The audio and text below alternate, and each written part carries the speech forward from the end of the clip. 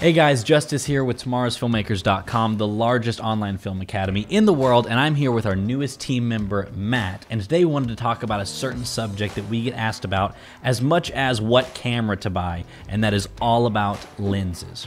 What is a focal length? What's the difference between a zoom lens and a prime lens? What would be the best scenario to use one kind of lens over the other? And in this video, we're going to answer all of those questions so that you will have full confidence when choosing a lens because let's be honest, lenses can be pretty confusing. You've got all these numbers on them. Some look exactly the same, except one is a lot more expensive, and which one do you use in certain situations? These are all the questions I asked when I started out, and we want to answer all of those for you today. Now, of course, today we're going to be going over the basics of lenses and focal lengths, but if you want to go even more in depth about composition, cinematography, using your camera, and really anything about filmmaking, you can check out our full course over at tomorrowsfilmmakers.com. We have over a thousand training videos and over a 100 hours of content on every single aspect of filmmaking taught by leading professionals in the film industry. Learn the best from the best. Tomorrow's Filmmakers is your one stop to learn all the skills that you need to succeed. With over 15,000 students in over 50 countries, a lifetime membership to our award-winning $800 film course is only 97 bucks. If you want to take advantage of this crazy deal, you can check out our website in the link below and head on over to tomorrowsfilmmakers.com to learn more. First off, let's answer the super important question right out of the gate. What is a lens? Now, a lens is not just glass you put in front of your camera, it's actually so much more than that. Without a lens, your camera is practically useless. Every digital camera has what's called a sensor, and without a lens attached to the front of your camera, that sensor can't focus on anything at all because all that you would see is blur. Now, take that lens and attach it on the front of your camera, and now you can actually see your environment and your subject. A lens isn't just glass you put on your camera, it's actually super intricate and detailed and has many different layers and sections within it to allow you to focus on your subject and get the perfect shot. Now, there's actually two different kinds of lenses, one being zoom lenses and the other being prime lenses. If you have either of these, you'll notice that on a zoom lens, there are two rings and that is because one is used to focus and the other is to change your focal length. This is because zoom lenses, well, zoom. Crazy, right? You can start at one focal length and if you want a different look, you can just zoom the lens in or out and change your focal length that way. On the other hand, your prime lenses will only have one ring on the outside for focus because they do not zoom and are limited to that one focal length that's written on the lens. Now, let's say you just bought a camera and it came with a few lenses. The real question is how can you tell what you're going to be able to see when looking through your lens just based on the numbers on the outside? So let's take a few lenses and explain some things. Now your focal length is the millimeter number you see that's written on your lens, or the MM number. The lower the number, the wider the lens can see, and the higher the number, the more zoomed in it is. Now a zoom lens will have two numbers on the lens, letting you know what the range is on that lens. So looking at a 24 to 70 lens, you automatically know that this lens will zoom from 24 millimeters to 70 millimeters, and you'll be able to shoot at any focal length between. You'll see that if we slowly zoom in, starting with 24 millimeters, then going to 50 millimeters, and now 70 millimeters. And you can see that the higher the number, the tighter the field of view is. A prime lens will have one number on it like this 50 millimeter lens. The one number is letting you know that this lens is not a zoom and is only limited to 50 millimeters. Now in a moment, we're gonna go over the differences between zooms and prime lenses, but before we do that, we wanna talk about three types of lenses that you will definitely come across and what they mean. Now these three lenses are a wide angle lens, a mid-range lens, and a telephoto lens. A wide angle lens is exactly that. It is a lens that has a very wide field of view and allows you to bring in more of your surrounding into the frame, usually around 8 millimeters to 35 millimeters. You can use a wide angle lens to establish a setting or environment, capture a landscape, or even make your subject feel really small and insignificant. The opposite of this would be your telephoto lens. A telephoto lens is designed to be super zoomed in, and even at its widest, it's still really zoomed in. These are usually 70 millimeters to around 200 or in some cases even 400 millimeters and so on. You would use this kind of view for maybe wildlife or a concert or something where you need to be really far away from your subject but still want to capture all of that detail. You would zoom in and use a telephoto lens. Now, everything in between a wide angle lens and a telephoto lens is considered a mid range lens. This will be your most natural looking field of view and is what most filmmakers use today. This is anything really between 35 millimeters to 75 millimeters. Now, again, these are used the most in filmmaking and are usually considered the standard for shooting video, and this is because they look the most natural to what our eyes see. So although with our eyes we see things in a really wide field of view, the way mid-range lenses handle faces and the environment look the most natural to us, and this is why mid-range lenses are used the most in filmmaking. Right next to the lens millimeter, there is another number, and that is going to be your lens aperture, sometimes called your f-stop. This number represents the lowest aperture your lens can be. Now, really quickly, for those of you that don't know what this is, your aperture number just represents how much light your lens is able to let in. So, the smaller that number, the more open your lens is, the brighter your image looks and how blurry your background is. And to the contrary, the larger that number is, the darker your image is and the background will also be in focus. So, for example, this 50mm lens can actually stop all the way down to 1.4, which is actually pretty low, and the lens can open up a lot to be really good in low light. Again, the lower this number, the more open your lens can get to take in more and more light.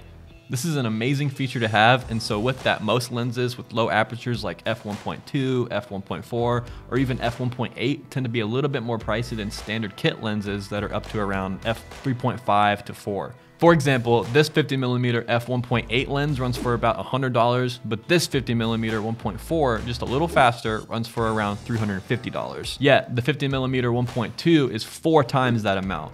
And even though it does have a better build quality and better glass, the fact that you would pay over $1,000 more for f1.2 instead of f1.4 shows how valuable having a lower aperture really is. Another feature some lenses might have is stabilization or vibration reduction. And this just means that lenses with this option will have a switch on the side of the lens that triggers stabilization on or off to help get smoother handheld footage. Now it won't completely stop all movement, but it will definitely handle some sharp movements if you're shooting anything handheld. You can tell a difference whenever we shoot handheld without image stabilization and then turning it on. Again, doesn't make it look like it's on a tripod, but it takes away all those small handheld jitters. This feature also tends to cost more money when you're lens shopping. Now the good news is this feature isn't quite as necessary as it used to be, and we have plenty of lenses without it. And this is because a lot of newer mirrorless cameras we shoot video with also have an in-body stabilization, which means that it has a stabilization feature inside the actual camera and not on the lens. And on top of that, if you use a gimbal all the time like we do, this makes the stabilization feature on the lens not quite as necessary. If you see a lens online with the exact same specs, but one is way more expensive, it's probably because one includes stabilization and the other does not. For example, here is a 70 200 f4 Canon zoom lens without stabilization, and it's only about $450. And on the other hand, the version of the same lens with stabilization built in is around 1200 bucks. Now don't get me wrong, it's still a great feature to have and has come in handy many times. It's just not quite as important as it used to be with all the new technology that we have. And so now we want to take a look at two different kinds of lenses that you'll come across, and that is zoom lenses and prime lenses, and give you some pros and cons to each. First, let's start with zoom lenses. The first and obvious advantage to a zoom lens is that, well, it can zoom. Now, some zoom lenses can have a focal distance that starts at a wide angle and even ventures into a telephoto lens like a 28 to 135 millimeter, so you get the entire focal range with only one lens. Some zoom lenses can be a wide angle as well as a mid range, like the 18 to 35 millimeter, or maybe the lens is still in the wide angle category but has the ability to zoom like an 11 to 16 millimeter. So it really just depends on what the millimeter range is. Like we said, a 24 to 70 millimeter lens can be a 24 millimeters, 70 millimeters, or any focal length in between. This can be extremely helpful when running gun shooting like at a wedding or a concert where you don't have a ton of extra time to sit around and change lenses.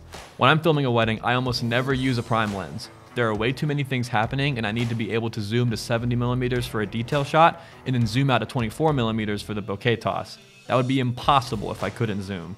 Another pro to using zoom lenses is that you only need a few lenses to cover every focal length. You know, for example, if I have an 18 to 35, a 24 to 70, and a 70 to 200, Boom, I'm covered from 18 millimeters all the way to 200 millimeters with just three lenses. I mean, seriously, you would need like 10 prime lenses to come close to covering all of these focal lengths, and you'd probably have to sort through a very messy camera bag and end up wasting precious shooting time. So zoom lenses are great because you can zoom with them and you don't need nearly as many lenses to have a good variety of focal lengths. Now you might be thinking, if this is so convenient, then why would I not shoot with zooms all the time? Why even own a prime lens? Well, some zoom lenses, especially the cheaper ones, you might come across two numbers where the aperture should be. This means that your lens will change aperture as you zoom. So this here is a 28 to 135 f3.5 to 5.6. At 28 millimeters, you will be at a f3.5. But when you zoom into 135 millimeters, you will see the image actually getting darker and the aperture changing. The more expensive zoom lenses have fixed apertures where there is only one number for your aperture and it stays there no matter how zoomed in or zoomed out you are. A 24 to 70 f2.8 stays at f2.8 throughout the entire zoom. This is probably the biggest difference between a cheaper zoom lens and a nice professional one. Also, typically zoom lenses aren't quite as sharp as prime lenses, and yes, the difference might be so small that most people can't even tell, but it definitely is still a fact. Zoom lenses are much larger and have a lot more glass inside, which means that there's much more room for mistakes, dirt, dust, haze, or cracks in the glass, and that could result in a not so sharp image. Putting this 50mm zoom lens side by side with a 50mm prime lens, you probably don't see much difference or if any difference at all. But in reality, the prime lens is a little bit sharper and it's much easier for your zoom lens to get increasingly soft over time and lose its sharpness the more you use it. Now, a prime lens is any lens that does not zoom. This means if you have a 50mm prime lens, that lens can and will only be set at 50mm for the rest of its life. To get a different composition, you'll need to either switch to another lens or move your actual feet to walk closer to your subject or walk further away. This is great for new filmmakers because it forces you to move around more and get a better feel for creating your own composition and framing rather than just zooming in or out. There are also many pros to using prime lenses, such as the fact that they are a little bit sharper. There is less complex glass on the inside without the need for zooming, so you will typically have a sharper image out of them. This is why most professionals in Hollywood stick with prime lenses. When you spend all day setting up for a scene, you have plenty of time to make sure you have the right lens on your camera, and so you can be more intentional with it. However, if you're running gun shooting, it might make more sense to shoot with a zoom because you might not have all the extra time to switch lenses. In addition, prime lenses also can have lower apertures very easily because they don't have much glass inside them. So yes, a 24-70 f2.8 lens might be able to stop at 50 millimeters and get that focal length, but you're limited to f2.8. If your shoot requires a 50mm focal length, you get a much sharper image and a better looking background if you had a 50mm prime lens of 1.4 or even 1.2 because you'll be able to let much more light in. This is also extremely helpful in low light because lower apertures can again just take in so much more light. On the downside, these low aperture prime lenses can be really expensive, especially if you're on a lower budget and the variety of focal lengths is more valuable than one really good prime. For $2,000, you could get two really nice zoom lenses that would cover you across multiple zoom ranges or you could get two primes and be limited to two focal lengths. So just to make sure you understand these numbers, we have a couple lenses that we want to go over and make sure you fully understand them. Now this is a 24 to 70 f2.8, which means that it's a mid-range lens with a fixed aperture of f2.8. That means that the lens will be f2.8 all the way through the zoom. This is a 28 to 135 millimeter f3.5 to 5.6. This lens can zoom from a wide angle to a telephoto, but at the cost of an aperture that closes as you zoom. This one has one number on it, 50 millimeters, which means that it's a prime lens and doesn't zoom, and this particular lens has an aperture of f1.4. This means that this lens can stop down lower than most zoom lenses because it is a prime lens. Now compare this one to the same exact lens, except that one is an f1.8. Besides build quality, you're paying extra for that extra few stops of aperture. So read all of the numbers on your lens, pay close attention if the lens is cheaper, find out why. It's better to spend a little bit of extra money rather than spend less and regret it. Now that you know what the numbers on all these lenses mean, how do we actually use that information to aid to telling our story? Every lens choice and focal length you choose will communicate something different to your audience. A wide angle can be used to make your subject feel small or lonely in a big world or environment, or maybe establish an overall scene or setting. Or if you have a wide angle lens and get close to a face, it can distort the face a little bit and make the audience feel awkward. This is commonly used to show a character realizing something super important or maybe being overwhelmed. Maybe instead you want to show the feeling of someone being watched from a distance, you could use a long telephoto lens to express the feeling of your subject being watched or stalked. These are used all the time in thrillers and suspenseful movies. We'd encourage you to go do some homework, and yes, for us, homework is just to go watch a movie and just really pay attention to every shot and see how they make you feel so you can really see and understand just how important it is to use different lenses and focal lengths in your own video work. Having all of this new knowledge, you might be wondering, which should I use, a zoom lens, a prime lens? And, and to answer that, I would say ask yourself the most important question. What will you be shooting? Are you shooting wildlife? You might need a telephoto lens so you can keep a safe distance. Will you be in a rush and not have a ton of time to set up each and every shot? Using a zoom lens might be more practical for you. If I was shooting a wedding, I'd probably stick to a zoom lens 100% of the time. On the other hand, maybe you have plenty of time to set up your shot, and that little bit of sharpness is crucial for your work, so prime lenses would be best. Will you mostly be in low light situations and need that extra bit of light? Having a prime lens with a lower aperture might be the most important thing for you. Figure out what you'll be shooting the most and then buy lenses that fit that need, whatever that looks like for you. We have both zoom lenses and prime lenses, and sometimes one is better than the other depending on the project that we're working on. But just to give you guys a little bit of advice, if your camera comes with a kit lens, use it.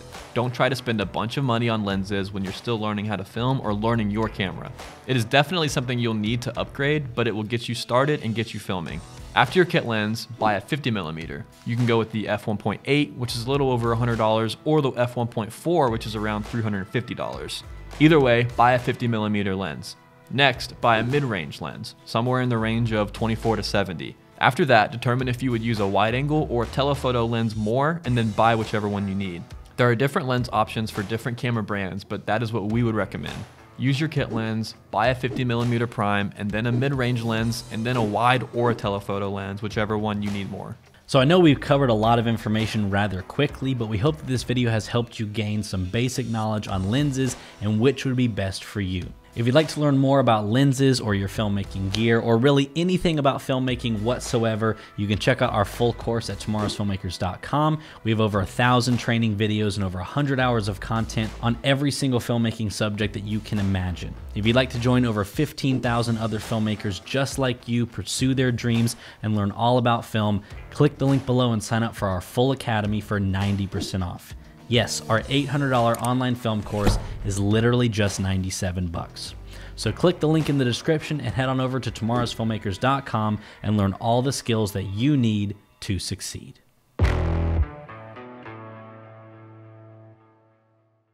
Gosh, is it really this close? Yeah, pretty much. It's a little shocking.